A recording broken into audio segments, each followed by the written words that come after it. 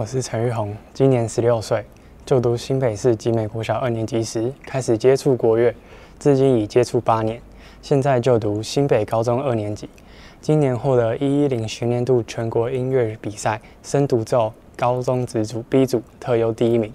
我对音乐的热忱就像是互相陪伴的家人。今天为大家带来的曲目是《秦王破阵乐》。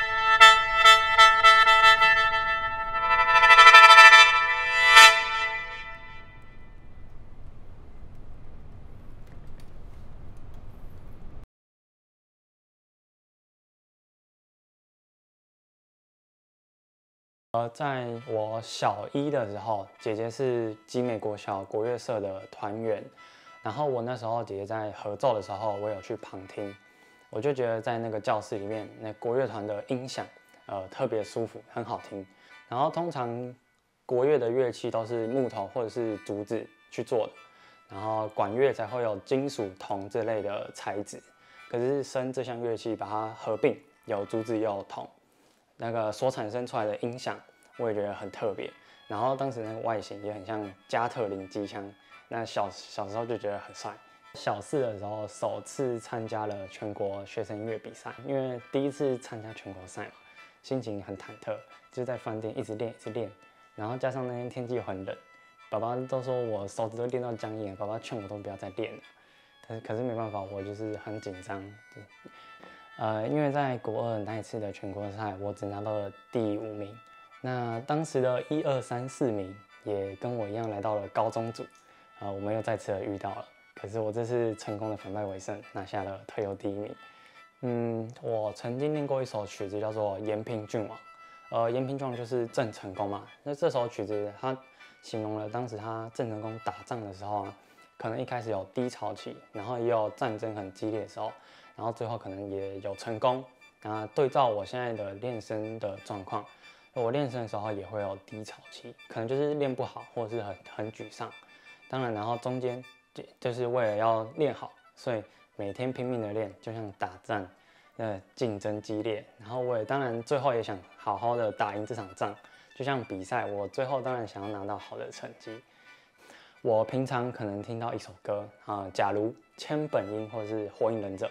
还是说一些宫崎骏的龙猫，还是一些特别好看的动漫，像最近有什么红莲华之类的，我都会呃把声，如果声就在旁边，我就把声拿起来，直接听着耳机，然后吹照着试试看，就像是嗯，譬如说外面有一辆垃圾车经过，我会尝试的用声呃去模仿，或者是电铃，有人如果有电铃来，然后我会用声吹出电铃的那个音乐，就觉得蛮好玩的。在我小学刚上国乐团的时候，爸爸不管是个别课、分组课还是合奏课，都会陪在我身边，跟我一起上课。然后，这样当然就会不会很孤单嘛。然后，当然爸爸自己也是有学乐器，爸爸会吹笛子，然后姐姐也会弹柳琴。那我们在平时在家无聊的时候，可能听到一首好听的歌曲，然后上网谱就找一找啊。然后我们三个就会一起合奏，就是三重奏，这样平常也对国乐这方面也越来越有兴趣，就不会也没有想要放弃。呃，他在学完第一个学期，然后要帮国乐团招生的时候，啊，那一次他有一个独奏的机会，哦，也是第一次的独奏机会。那时候他很从容的上台表演，那表演大概表演完了三分之二的时候。他突然就停下来，就站起来，一鞠躬，跟观众讲说：“对不起，我忘了，我要下台了。”啊，这个说来就表现出他好像就是应该是少一根筋的表现啦。哦，呃，小时候他很好动。哦，那自从他上了呃这国乐团之后呢，呃，他开始稳定下来了。哦，开始因为国乐可能是要一心多用啦，要能够看谱。好，然后要去听同伴们的演出的声响，然后自己要去跟他配合，再加上自己还要手指上的动作，所以他可能把好动的这个情形分散在这些方面了。呃，长大后现在到国高中学习的一些的态度了哦，那他能够呃很明显的去汲取表演时候的呃失误啦，哦，或者说。虽然拿到第一了，但是有哪些不好的点哦，他都都会在之后去做一个去寻找一个改善的方法，就是训练胆量的部分哦。那常常我们就是可能到郊外去玩啦哦，然后他都会愿意拿着身到处去表演哦。然后甚至说有时候我们到民宿去住宿哦，然后他也会在民宿的阳台或者是民宿的大门口。声就拿起来表演，哦，这这些过程都是让我觉得很深刻的一些回忆啦。那这期间我当然是体会到了平常需要好好的练习啊，继续就是不能偷懒，要坚持。当然也体会到说，其实评审也是一个不可控的因素，因为评审都有自己的主观想法，或者是对音乐的概念。那其实只要展在台上展现好自己，就是没有关系。累积经验嘛，呃，希望到最后我可能上台就像喝水一样，完全不紧张，心情就放松了。可以顺顺利利的度过每一场比赛或者是表演。